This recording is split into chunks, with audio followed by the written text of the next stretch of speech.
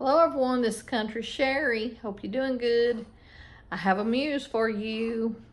Uh, it is uh, vacation versus holiday. I just wanted to tell everyone that in Europe and Ireland and different places, they all go on holiday.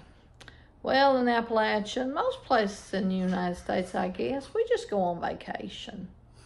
It's life short, people, please. Uh, don't give up on someone because there's always hope.